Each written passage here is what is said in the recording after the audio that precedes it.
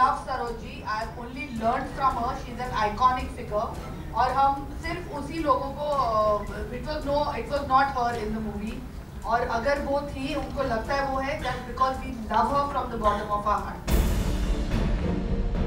Farah Khan का ये explanation आया था कुछ दिनों पहले उनकी mega budget film Happy New Year के रिलीज़ के पास। जब खबरें आई how choreographer Saroj Khan is upset with Farah क्योंकि उन्होंने अपनी फ़िल्म में किया है स्पूफ ऑन सरोज खान। और आज हम सरोज खान के इसी कमेंट पर लेकर आए हैं कि कुछ शारदा का reaction as to what he feels about this entire Year is a film that I did recently, but I have great respect for uh, Farah Khan, who had come to Comedy Nights with and uh, उन्होंने मुझे एक role offer किया which was of a dance teacher in Happy New Year तो उनके साथ एक sequence जो हमने शूट किया, बहुत ही प्यारा और अच्छा था।